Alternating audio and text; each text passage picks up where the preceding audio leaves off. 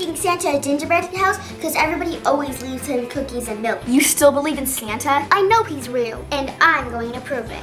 Oh yeah, Mimi? And how are you gonna do that? I'm gonna set up traps to catch him on camera. If I put these presents in the garbage, Santa would definitely come to get them.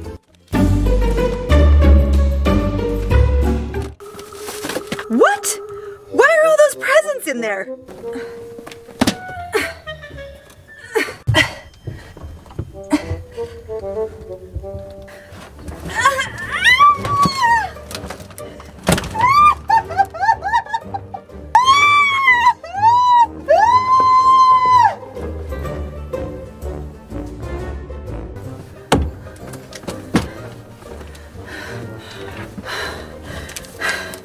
I got it.